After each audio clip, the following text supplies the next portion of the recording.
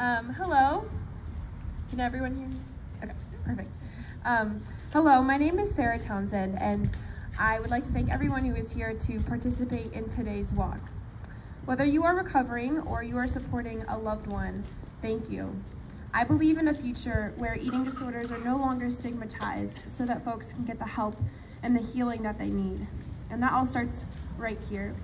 Second, I want to take a moment and thank the National Eating Disorders Association for making events like this a reality. This work is extremely important to me, and I'm grateful for this space to share my story.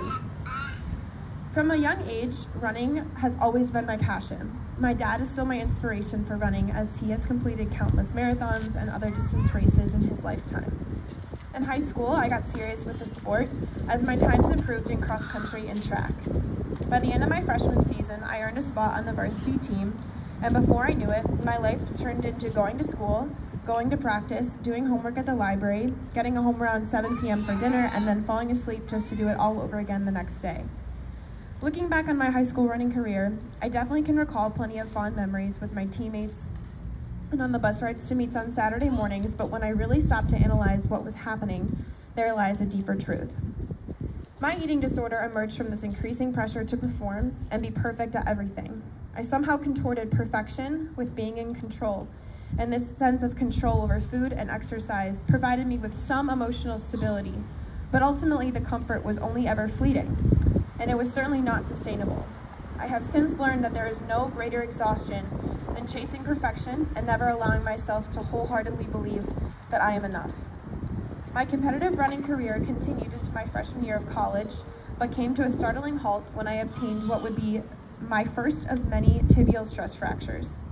This particular injury healed, but last year I dealt with a similar bone stress fracture that continued on for months, delayed in healing, and it resulted in medical intervention. The months of exhaustion from and disappointment in my body's inability to heal itself and rebuild itself was my turning point. I was tired of my eating disorder dictating my life while simultaneously hiding behind just how much pain it was causing me. I wanted to seek out professional help and actively choose recovery because struggling through meals and ignoring my body's need for rest was crushing me.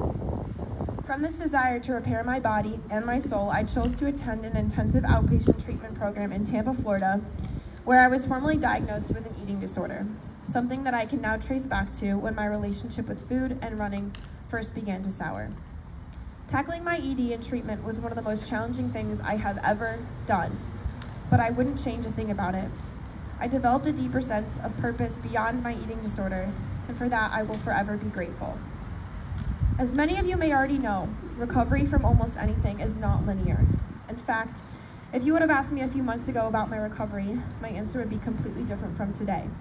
Presently, I'm going through lingering health repercussions from my eating disorder as I recently sustained another bone stress injury in my right tibia. I am grateful I stopped running before I digress, but nonetheless, the physical and emotional pain of an additional bone stress injury has me confused and sad. The reality is that eating disorders can have long-term effects on the physical body. Bone health, for example, may take a longer time to build back up after years of being weakened from my eating disorder. So it's clear to say that recovery is a journey, not a destination. However, since graduating from my program, it's been beautiful to see new hobbies unfold, all of which have nothing to do with exercise. I have found passion in songwriting, experimenting with different recipes, and I've also found a lot of solace in maintaining friendships. Additionally, fueling my body has helped me to have the energy and stamina to fully enjoy my job in outdoor education. I have the privilege of working with and learning alongside the wide variety of students and participants that visit our center, and I know that my instructor role would not be made possible without the intentional work of healing my relationship with food.